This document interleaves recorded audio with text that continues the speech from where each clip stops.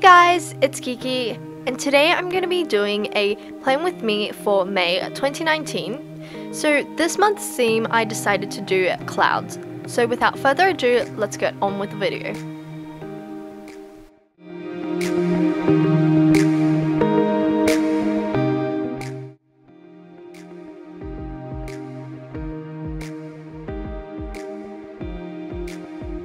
So first, as usual, I started off by doing a square. Then I went in with my thick calligraphy pen and wrote May. Around the box, I went in with both of my blue highlighters and just drew some clouds. Since it looked a little bit simple, on the inside of the box I decided to draw a paper plane flying through the air.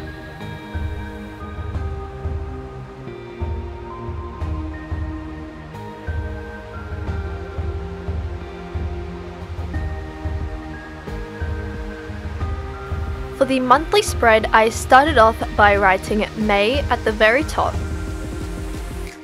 And then on top of that, I wrote May in simple calligraphy. For this month, I decided to draw individual boxes for each day.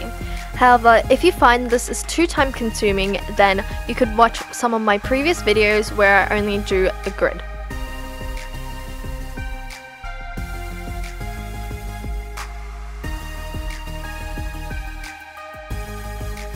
After I drew out each of the boxes, I went in with my normal pen and just wrote Monday to Sunday in calligraphy.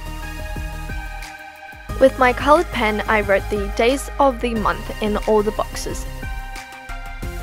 Then for some decoration, I drew some more clouds around the calendar.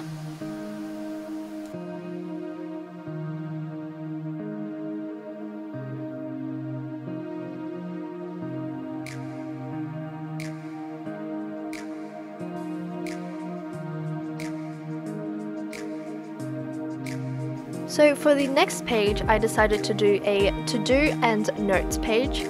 So basically, I did the same thing as I did as last month because I really, really liked the way I did this. So I just wrote to-do and notes with a highlighter.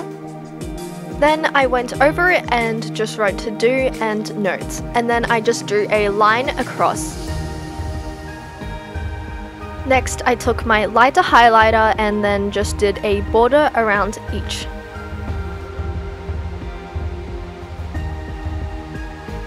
Of course, to complete the spread, I decided to draw some clouds.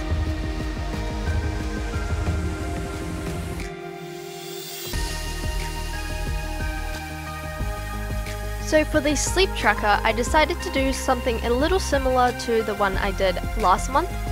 So basically I just drew a box and then around it I drew the numbers.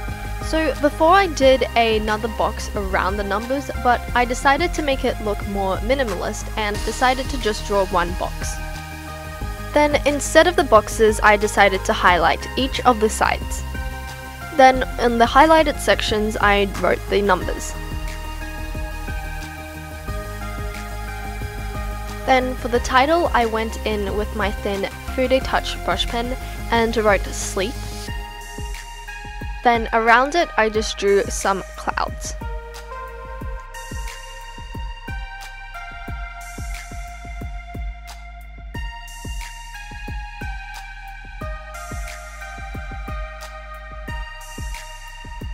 Lastly, for the weekly spread, I wrote May at the very top, then I wrote the dates next to it. Since last month's was a little bit all over the place, I decided to make mine minimalist this time. So I wrote Monday to Sunday on the left side of the page. Then I wrote the dates in blue next to it. Finally, I separated the page with my highlighter, changing the colors.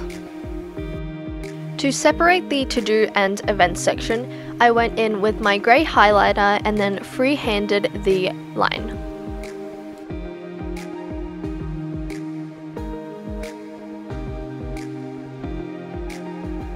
So I hope you guys enjoyed. If you guys have any suggestions for what I should do for my June plan with me, please let me know down below. Anyways, as always, make sure to subscribe, give this video a thumbs up, and comment down below what video you'd like me to do next. Bye guys, see you next time!